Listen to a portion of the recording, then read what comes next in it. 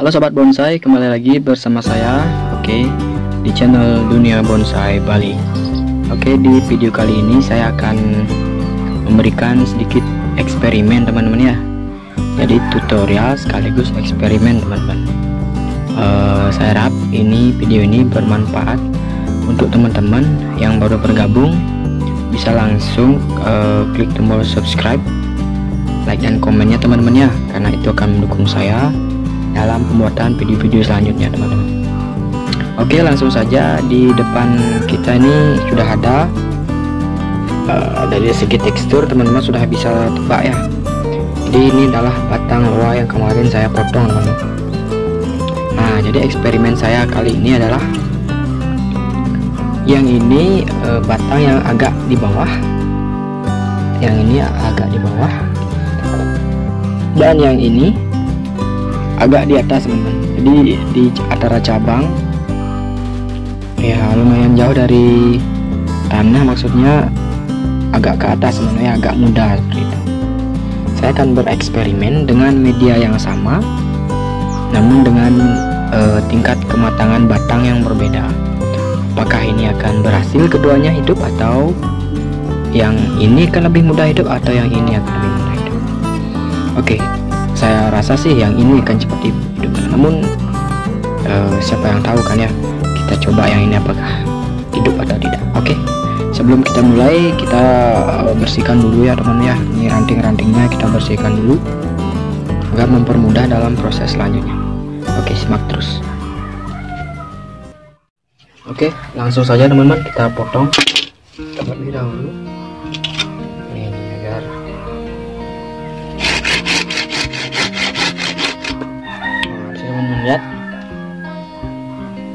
ini batang loanya. Oke sebelumnya saya akan bersihkan dulu bagian bawahnya teman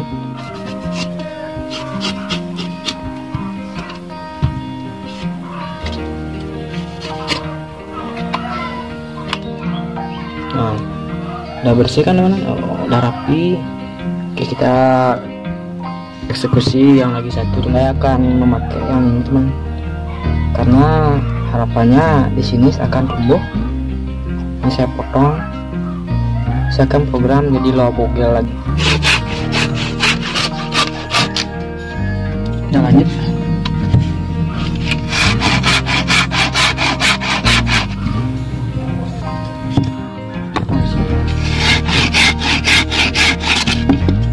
Nah bogel.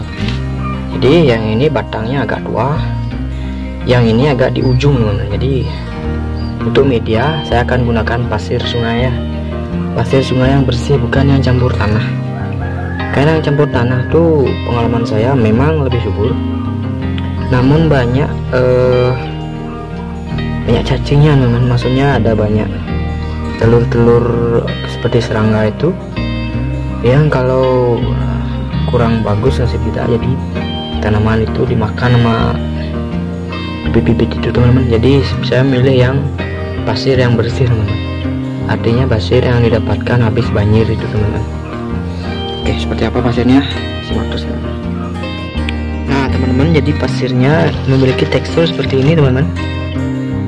Te tekstur pasirnya agak kasar namun dia bersih teman-teman. Lebih bagus lagi teman-teman bisa ayak karena itu akan memisahkan batu-batu yang besar teman-teman. Namun nggak diayak pun boleh ya karena sama aja teman-teman. Seperti itu. Oke mungkin segitu teman-teman ya. Kita lanjut ke proses penyungkupan teman-teman. Teman-teman jadi plastik plastik apa aja boleh ya asal bening teman-teman. Oke ini teman-teman. Oke mungkin itu saja teman-teman. Sedikit tutorial ya bagaimana cara menanam batang loa. Sebenarnya saya ini eksperimen teman-teman. Uh, setelah beberapa hari atau beberapa minggu saya akan update lagi pertumbuhan dari loa ini teman apakah yang ini yang batang lebih tua atau yang ini batang lebih muda pertumbuhannya sama atau ada perbedaan? Oke simak terus. Saya akan buatkan video review untuk update pertumbuhannya teman-teman ya. Oke mungkin sekian dulu teman-teman. Terima kasih telah menonton video ini. Jangan lupa like, comment, subscribe teman-teman ya Karena itu kalian mendukung saya dalam pembuatan video selanjutnya. Oke, salam satu hobi, salam bonsai Bonsai dari Bali, salam rahayu dari Bali. Mantap